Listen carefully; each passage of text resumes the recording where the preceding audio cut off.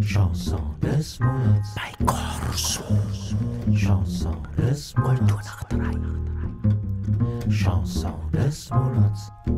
Was haben Sie diesen Monat vor, Herr Pigor? Ist es schon wieder soweit? Es ist Juli.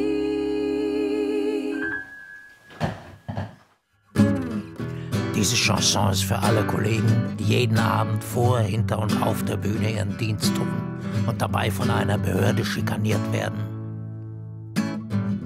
2010 haben sie es schon einmal vorgemacht. Die Versteigerung von Lizenzen diverser Frequenzen hat damals fast 5 Milliarden eingebracht. 5 Milliarden zahlten damals Mobiltelefonbetreiber für die Nutzung von Frequenzbereichen.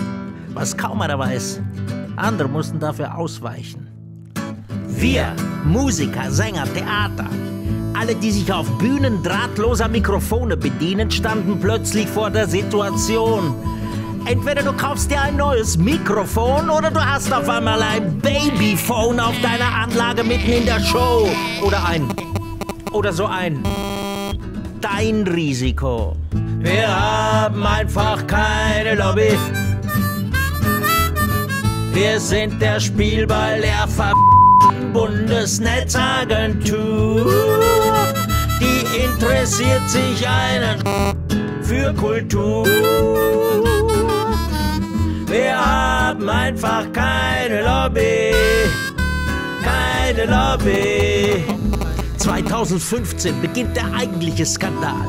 Sie landeten denselben Coup nochmal. Wobei unter dem Vorwand, Breitband-Internet in ländlichen Gebieten einzurichten, ausgerechnet die Frequenzen unter den Hammer gerieten, die wir 2010 zugeteilt bekamen. Wieder 5 Milliarden Einnahmen. Toll! Die Telefongiganten gehen Frequenzen shoppen und wir können unsere Mikrofone schon wieder in die Tonne kloppen. Das ist eine dermaßene Ungerechtigkeit. Das ist eine Sch Diese F gehören meiner Ansicht nach ge Wir haben einfach keine Lobby.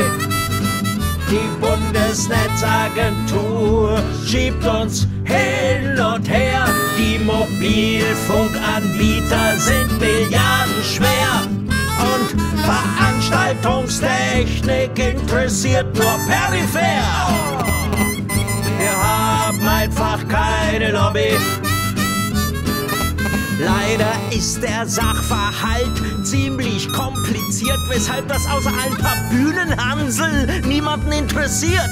Doch es ist ein Teil unserer Kultur, eine bedrohte Art.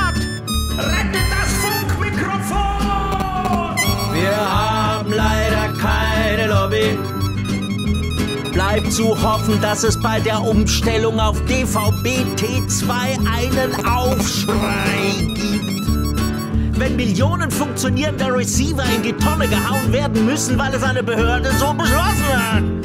DVB-T2. Ja, das digitale terrestrische Fernsehen über Antenne. Und die Umstellung kommt 2016. Da sind vielleicht auch Sie betroffen.